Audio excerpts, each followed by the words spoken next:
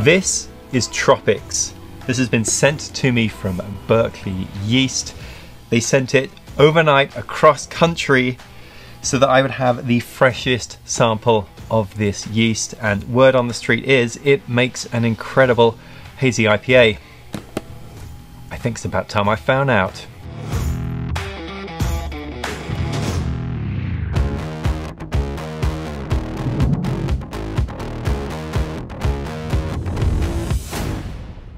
My name is Martin Keen and my challenge today is clear. That is, I need to brew some delicious wort in order to feed that yeast a real feast. And to that end, I have my bag of grains here, freshly milled for me yesterday by Atlantic Brew Supply.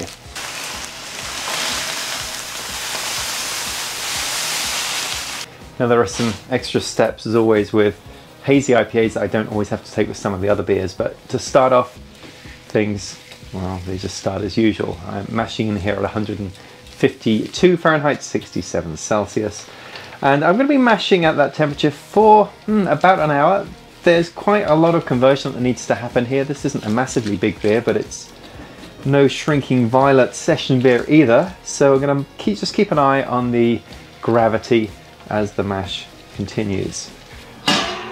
All right.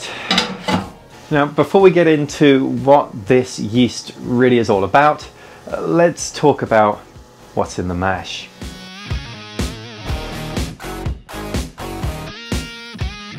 So, in the grist for this one, well, original gravity looking at around 1066, so around 6.7% ABV, somewhere around that range. In terms of ingredients, well, hazy IPAs, you want to give a nice malt base to these things with a, a really soft mouthfeel as well. Um, what I'm going to use is 51% of just two row as my base malt. And then to that, I'm going to add at 15% each carafoam, flaked barley, and white wheat malt. And then to round things out at 4%, I'll be adding in aromatic malt. Now, about that yeast.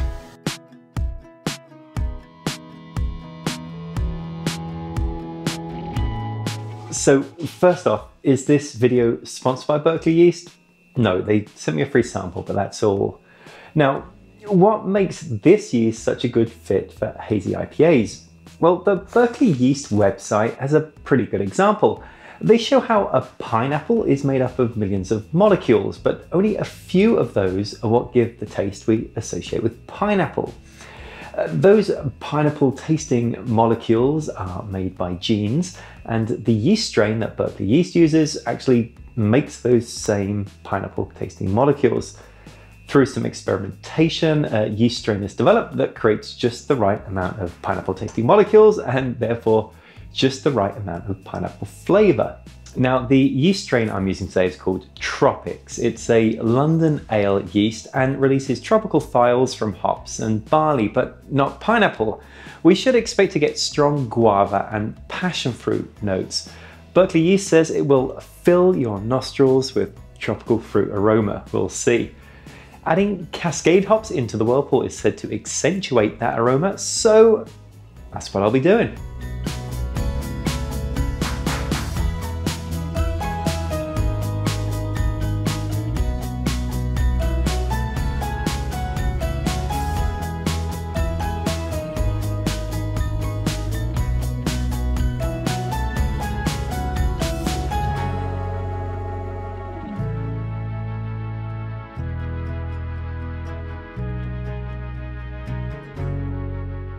The hops in today's beer, I'm using three, Calypso, Cascade and Galaxy. But in the boil, I'm only using one, just this packet of Calypso. Uh, overall, the beer is going to have an IBU around 53. This will get me to about 34 IBU. Just a 30 minute boil today with this going in at the start of that boil.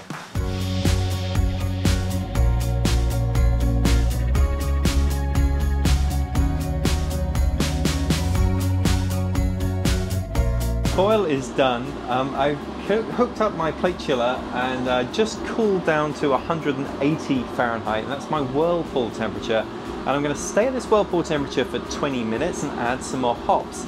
I am going to be adding, well, some more Calypso.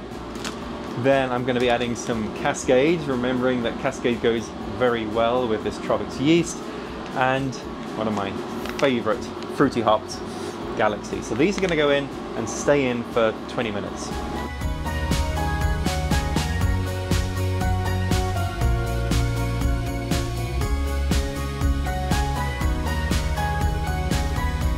Looks like I'm at 1063 for original gravity, pretty close to what I was shooting for. The wort's still just a touch warm, so I'm gonna hook this up to the glycol chiller and knock it down a few degrees before I add the yeast. Wort is down to 70 Fahrenheit or 21 Celsius after a good session on the glycol chiller, which you might be able to hear running down there. Now it's time to add this guy in, the Tropics. Uh, I don't know actually how much yeast is in here, only that I let Berkeley Yeast know I was bringing a three gallon batch and uh, this is how much they gave me. So I'm gonna pour this in.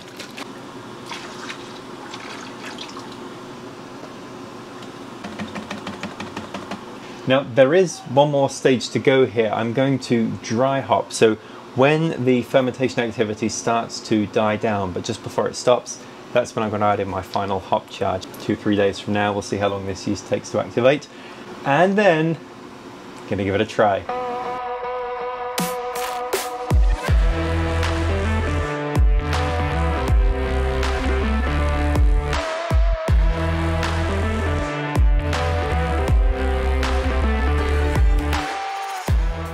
Enjoy seeing you drink that. Yeah, that's right. Oh, that's great. Okay, so it's tasting time. I have Caleb with me. Welcome. Hey. What? Thanks for having me back. You think it's safe to say we're both quite excited. I can, I can smell it from here. Today's bit, yeah, it's amazing. Isn't it crazy? Yeah. So amazing. Just from the airlock alone, just from sniffing that, I've been getting tropical fruit. So um, yeah, it smells like a like a fresh cut like passion fruit. Uh, tropical all over everywhere. Wow. I mean, it does. It smells like fruit juice. Yes, it smells like fruit juice. Yeah, I made a lot of NEIPAs, and this is this is really something different. This is the fruitiest non-fruit beer yeah. I think I've ever smelled. That's right. Yeah, I'm definitely getting a lot of that just tropical passion fruit just really sticks out to me. Yeah. I think uh, reading the description of the yeast is supposed to have like passion fruit and guava, you know, characteristics. I can, you know, I can see where they get guava, but uh, definitely passion fruit. Yeah, it's absolutely super strong. You, you, can definitely get it in the taste too. Yeah. And then just sort of balanced with that, I think you've got the bitterness of the beer as no, well. No, it's, so... it's definitely got a good solid bitterness. I, I like the balance of the bitterness. The mouth feels really nice too. It, it just, it coats your mouth uh, and you, you, really do get a lot of the, um, hop flavor and aroma as it's kind of you open your mouth and you, you, you smell and taste that. Yeah. Well, yeah, this has come out so well. Thank you for doing the tasting. Oh man, thanks me. for inviting. Absolutely, this is so worth tasting, and I, I want some of this yeast myself. Yeah, yeah, and thank you Berkeley Yeast for sending this, sending it fresh cross country overnight. Uh, you know, the, the results speak for themselves. It's amazing. Very good. Come prepared. That's right. Uh, so we'll we'll fill those up and I'll I'll enjoy that later. Sounds good.